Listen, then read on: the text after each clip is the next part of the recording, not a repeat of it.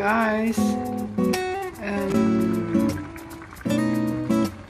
ito I am cooking um, tilapia uh, pinaksiw with eggplant at saka ginger with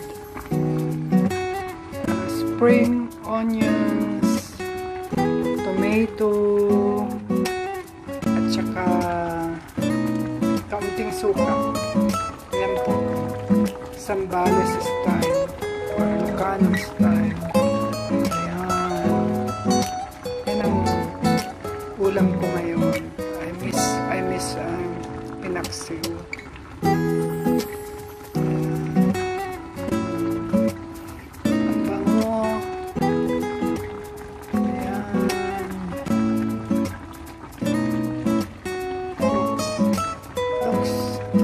delicious paksiw na tilapia po yan ayan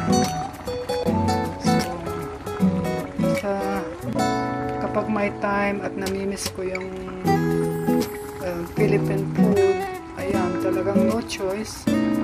Dahil dito sa Germany wala namang kaming Philippine restaurant dito. Kaya ang mga Pilipino kailangan talaga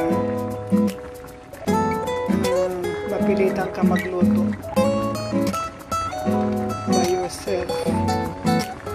Meron ding mga Philippine restaurant dito kaya lang malalayo. Halimbawa meron sa Berlin kaya lang ang layo nun. Paminsan-minsan pag nakakapunta ng Berlin yun pumapasok kami doon parang um, parang Barrio Fiesta. Max Restaurant. Lahat ng mga specialty ng mga ano Pinoy mau-order mo doon. Talagang masarap.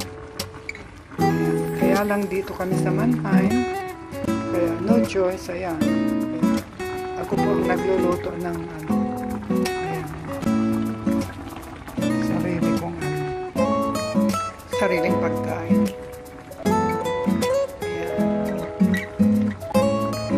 With matching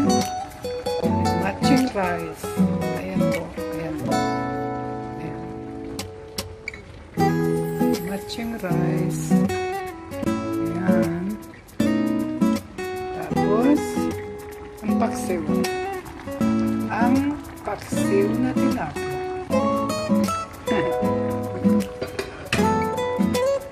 So ayan. gusto ko lang i-share yung ulam ko ngayon. Hope you enjoy it. Ayan. Upload ko po ito sa channel ni Kuya Sambalinyo. Vlog. So hope you will support it. Pawatch naman po. So bon appetit bye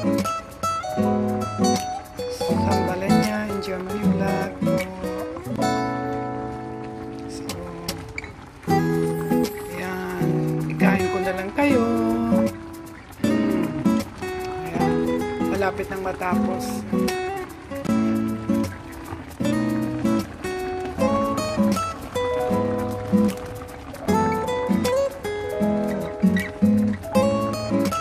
Takpan, takpan.